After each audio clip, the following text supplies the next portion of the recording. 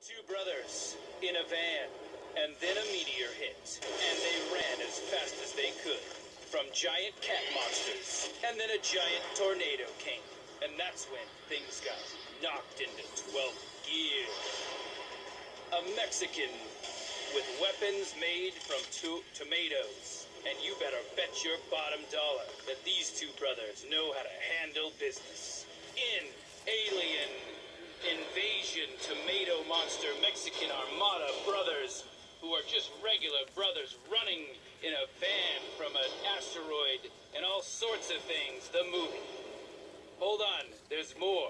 Old women are coming, and they're also in the movie, and they're gonna come and cross attack these two brothers. But let's get back to the brothers because they're they have a strong bond. You don't want to know about it here, but I'll tell you one thing: the moon it comes crashing into Earth, and what do you do then? It's two brothers, and a, and and they're gonna. It's called Two Brothers. Two Brothers. It's just called Two.